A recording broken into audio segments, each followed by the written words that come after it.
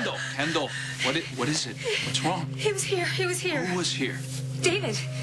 David, he, No. he was standing right over me. No, no, no, it's just me. No, it's me. no, no, no, no, no. He he was here. He was Hey, here. hey, hey, listen. You just woke up. Give it a few minutes. No, no, no. He, he he was grinning at me like No, like he, like he listen, knew Kendall, something. Kendall, he's in a coma.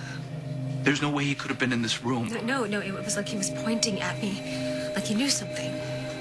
Caleb, we need. It's David. I, I can't I, I can't get him out of my head. I've noticed. You think I'm crazy, don't you? You think I'm gonna go over there and I'm gonna have a pillow in my No, head? I, I think that you need to get some rest so that your body can get rid of this infection. Why can't I stop obsessing about him? Because you blame him for your husband's death. Yes. No, I, I don't know. And your blood know. pressure is elevated again. Maybe I can help with that. Ricky. Hi. Kendall. Doc, Reverend? is this a bad time? It's fine. Okay, so what's wrong? I, uh, I, I woke up and I, I saw something. I saw David Hayward standing over my bed. And, and, and I know it was probably just a hallucination, but it seemed so real to me. And it was like he was saying something. About what? I don't know.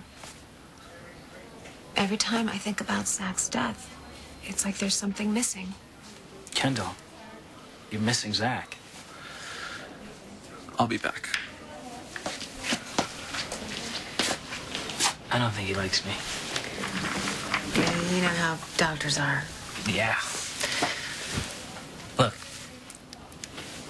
these thoughts you're having about David, about what you've lost, they're holding you back. From what? Well, from getting out of this hospital, for starters. I'm in the hospital because I got pneumonia. Yeah, yeah, I know. But from what I've seen, the whole mind body spiritual connection can do a lot of things good and bad. So I gave myself pneumonia. No, not exactly. But you know what? You got it in you to beat this, to get home to your kids.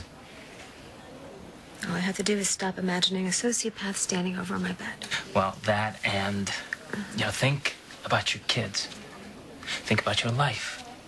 Think about sledding and snowball fights and the Super Bowl party at the church. Think Super Bowl party.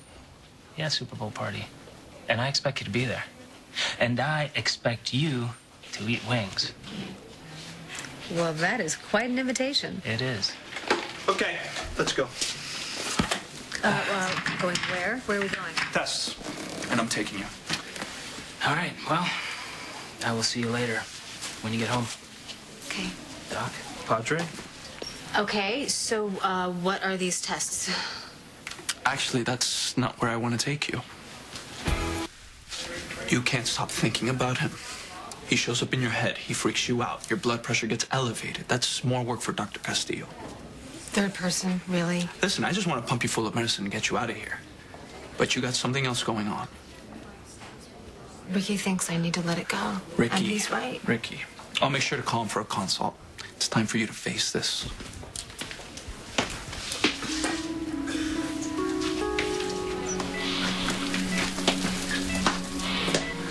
There he is, Kendall. Same way as he was when we brought him in. Take a good look, Kendall.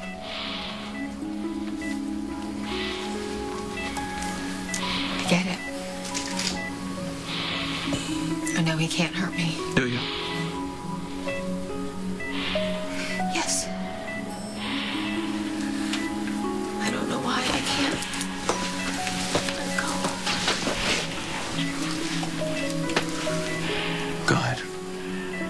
Do what you have to do.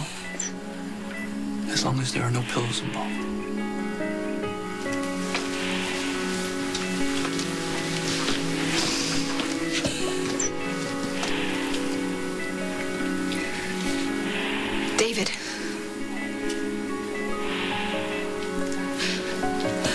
Want to know why.